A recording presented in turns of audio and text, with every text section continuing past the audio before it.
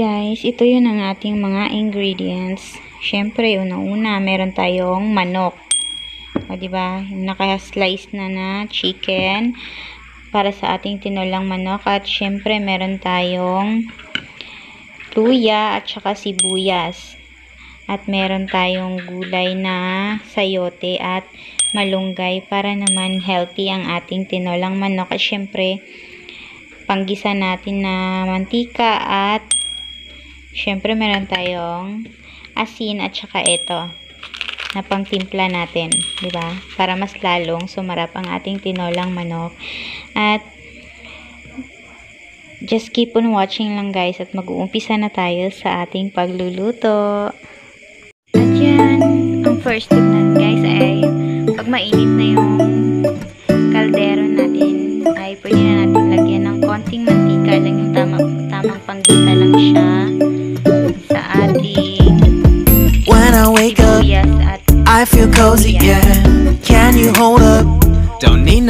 coffee yet. Got no makeup. How do you look so fine? What's up, what's up? How did I make you mine? Stay a minute, another minute. Hold on a second, I love this moment, yeah. Stay a minute, another minute.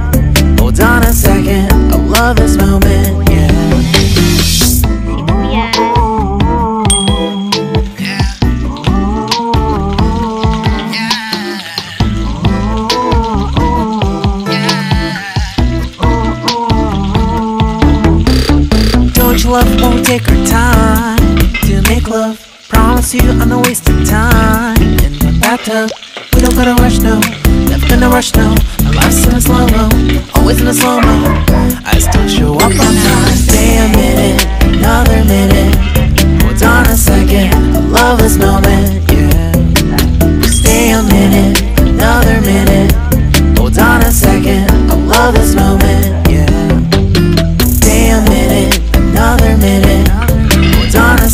love this moment,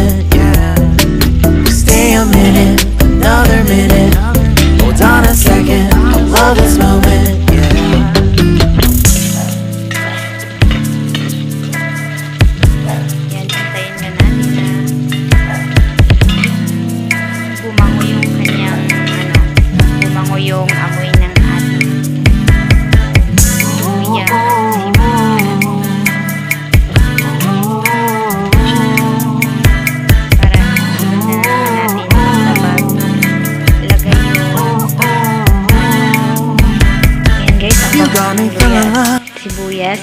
Susunod na natin ang manok. Got me feeling love. You know I own us up. Let me know if you ever think that I am in so. Just stay a minute, another minute. Haluin lang siya ng haluin. just stay a minute, another minute. Hold on a second, I love this moment,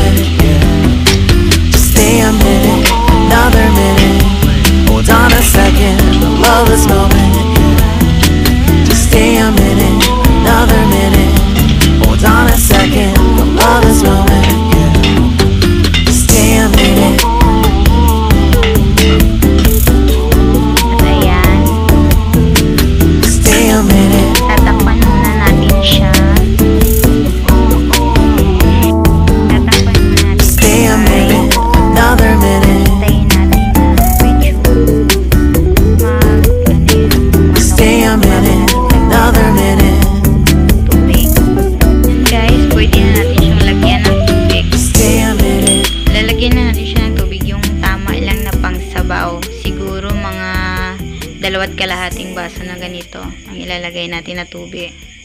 Ayan guys, nilagyan ko na siya ng tubig yung tama lang sa pangsabaw niya kasi may ano pa kasi to gulay. Kaya hintayin lang natin to na kumulo. Mga ilang kulo lang at pwede na natin. Pwede na natin siyang when I wake up, I feel cozy, yeah. Can you hold up? Don't need no coffee yet. Got no makeup. How do you look so fine? What's up, what's up? How did I make you mine? Stay a minute, another minute. Hold on a second, love this moment,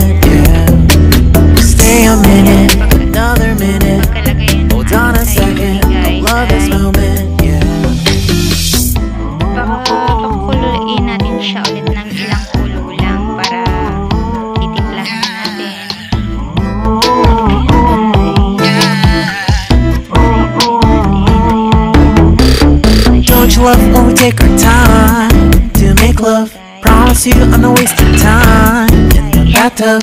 We don't gotta rush no, never gonna rush no. My life's in a slow mo, always in a slow mo. I still show up on time. Stay a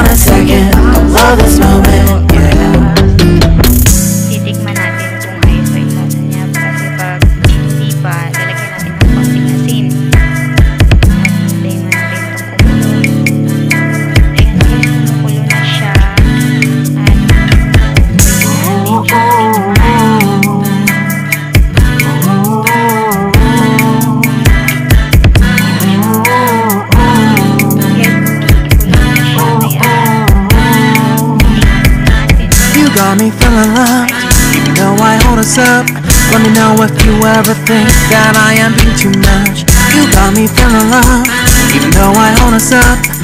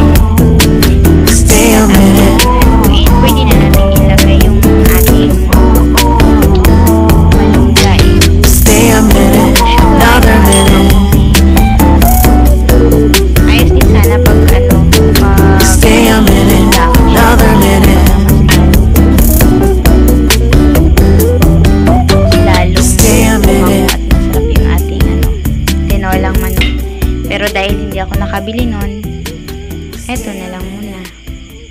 Malunggay. Para masustansya dahil may gulay ang ating ulam ngayong gabi sa hapunan. At pakulo, pakuluin lang natin ito ng dalawang kulo at luto na siya. Ayan na guys, ang ating tinolang manok, luto na siya. Nakahain na sa ating lamesa at tingnan nyo guys, ang sarap niyang tingnan. And yun lang ang ating video for, to, for today guys. At kung nagustuhan nyo man ang aking video ay paki-thumbs up na lang at kung hindi pa kayo nakasubscribe sa aking channel ay paki-subscribe na lang at pindutin ang notification ilagay sa all para updated kayo sa aking mga susunod na videos. Thank you for watching. Another minute. Hold on a second. I love this moment.